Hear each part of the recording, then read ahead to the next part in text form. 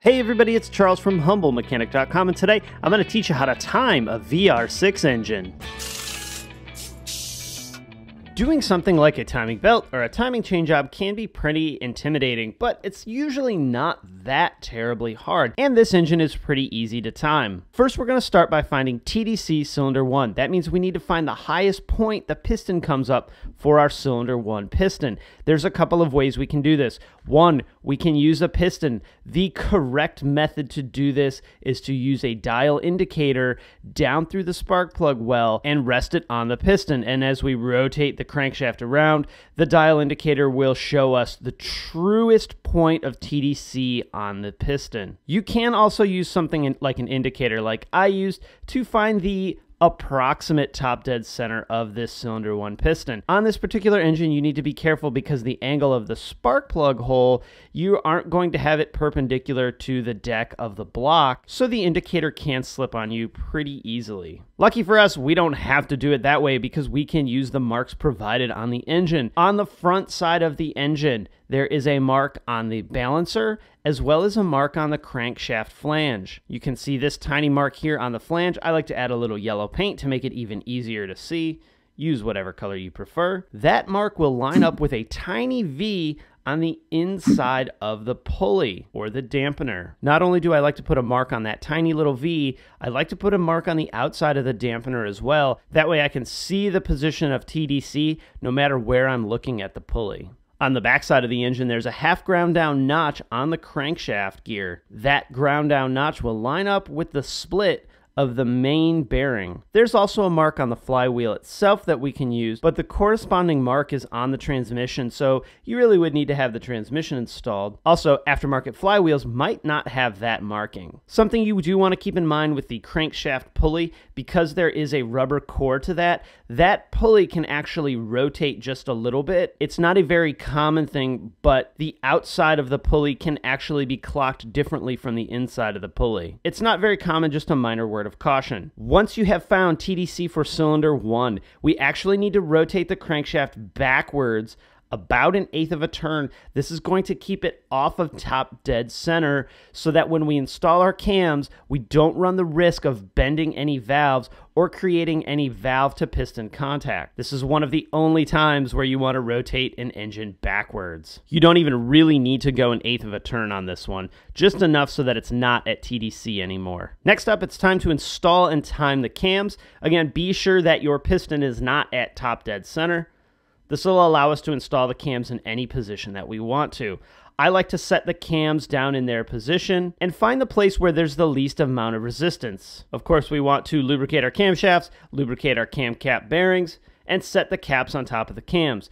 I also like to slowly tighten down the cam caps in stages before I torque them down. You'll find that most repair manuals recommend doing it this way. Even when we come to torquing the cam caps down to 20 newton meters, I like to do this in stages as well. You don't have to do it that way. That's just a way I prefer to reduce the amount of stress in one area of the camshaft. We're going to rotate our camshafts using a 24 millimeter wrench and find the place where the plate fits. On the backside of each of these cams is a notch cut in it for this special tool plate to go in. The plate will only fit with the cams at their correct position. You should not have to force this plate on, it should slip right in. And I like to throw one bolt in it just to hold it in place. Now that we have our cams locked into place, we can go ahead and install the gears. The back cam or the cam on the right side as we're looking at it is the one with the cam position sensor wheel, and there's a sensor that goes into the cover to read it. The cams are keyed, so the gears will only fit on one way. I like to only put these bolts in hand tight because I come back at the end and do all of the torquing all at one time. Next, we're going to install the intermediate shaft. This intermediate shaft drives the oil pump. It also holds the gear for the lower chain as well as the gear for the upper chain. So uh, she's pretty important. Go ahead and lube your bearing, go ahead and lube your gear, and go ahead and lube the end shaft that goes into the block. I like to install the bolt on the end of this gear because it makes it a little bit easier to hold while installing it. There should not be any resistance to this gear at all. It should slide right in. If you still have the oil pump drive gear, you may need to rotate it a little bit to install it. And once it's in, go ahead and give it a spin and make sure you don't have any issues. Next, we're going to install the cover for the intermediate gear. It only goes on one way. Be sure to replace these Phillips head screws. They're super soft, so you probably tore them out coming apart with it anyway, and these should be Loctited. You are not seeing me Loctite it here, but I actually did go back and Loctite those bolts. If it's not already installed at this point, go ahead and drop in the oil pump drive gear. We're not going to bolt that down because we're going to use that to prime the oil pump. Next, it's time to put on some chains. We're going to start with the lower chain. If you'll notice on the cover for the intermediate gear, there is a notch right at 12 o'clock. I like to paint that in order to make it easier to see. You'll also notice on the shaft, there's a flat spot. We want that flat spot at the top. That flat spot at the top will now line up with a flat spot on the gear for the lower chain. Before we put this lower chain on, we do need to bring our crankshaft back to TDC and make sure our shaved down tooth as well as our marks in the front all line up. In addition to having that flat spot on the gear, we'll also notice what would be at 12 o'clock here a mark on the gear. That mark will line up with the cover for the intermediate shaft. At this point, it does not matter where our chains are going to be at. We do want to make sure that we install our guide rail first, a mistake that I did make. Next, we're going to install the chain on the teeth of the crankshaft and bring our gear up to the intermediate shaft. At this point, it doesn't really matter where the intermediate shaft is, but as we get the chain on, and the gear set onto the intermediate shaft, we want to rotate that gear on the intermediate shaft. We want to make sure that all that tension is on the tensioner side. If we put this together with the slack on the non-tensioner side, we can actually create a situation where our engine is not properly timed or the tension on our chain will not be correct. It's really important to make sure the slack in the chain is all on this lower right hand side. And of course, I like to mark all these gears as well to make it easier to see and to do a quick check. Don't forget to put your tensioner on, and I like to Loctite these bolts when I put them in. Our lower chain is all installed and properly timed. Let's move to the upper chain. Our camshafts are already timed, our gears are non-adjustable, so we really just have to drop the guides in and put the chain on. I like to use Loctite when installing these guides as well. It's easier to install the chain on the cam gears first, so you don't have to fight it around the gear, but it can be done either way. Let's start by putting the tensioning guide on. Once that's installed, we'll put the pin for the front guide in. Then we'll drop that front guide from the top down, rest it on the pin. Go ahead and put the bolts in for the front guide using Loctite on all of those bolts. Now, you can have some movement in the camshafts even though they're locked, and that's okay. That's actually going to help us get the chain on. If you'll notice right here, even though the chain is on and the cams are set, this is not correct. Any slack in between these two cams right here will get taken up when we rotate the engine around and we'll actually probably end up with an engine out of time. So you do want that chain pretty tight between the two cam gears. If you need to take slack out or rotate them a little, grab that 24 millimeter wrench and go ahead and move the cams so that you get the slack on the tensioner side, just like we did on the bottom chain. Now that that's set and correct, it's time to time the upper chain to the lower chain. This gear is also keyed to the gear that's already installed on the intermediate shaft. So as long as our first gear is timed properly, we don't have to really worry about timing it. We set the gear in the chain, find that notch, that keyway, and then go ahead and install the gear. You might need to move the camshafts a little bit that's okay, just as long as when you get that gear on,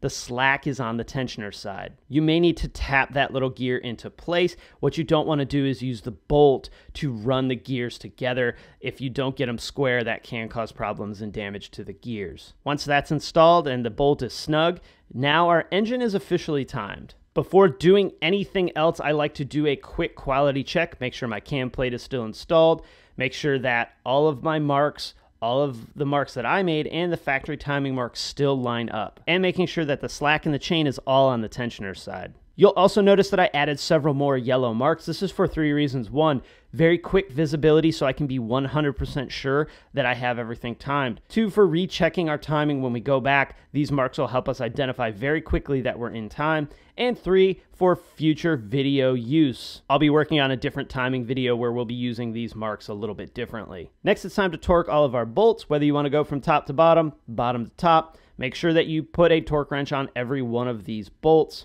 I like to also add a white paint mark different from the color of our timing mark to be sure that I got all the bolts. In fact, doing this allowed me to find that I missed one the first go round, so I was able to go back and retorque it. Once everything is installed, it's time to check and make sure that we got our timing right.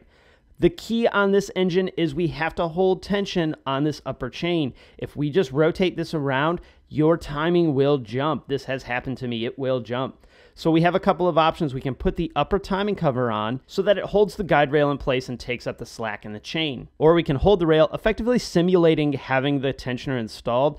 I went ahead and just put the cover on. It's really easy, two bolts. It doesn't have to be sealed or anything. You just need it on there to hold that tensioner in place. Next, we want to go over to our crankshaft and rotate that around. I like to do four total rotations of the crankshaft. Most repair manuals will say two, but four makes me feel a little bit better. That is two complete cycles of the engine. The key here too is to make sure you're rotating this around clockwise or righty-tighty because that's the way the engine rotates when it's running. Because we have our marks on the front side, as we come around on that fourth turn, we can stop it right there and make that sure that lines up. And next, we're going to go back in and recheck everything. We'll put our cam plate back in and make sure it fits. Let's start at the bottom. Our crank tooth lines up properly.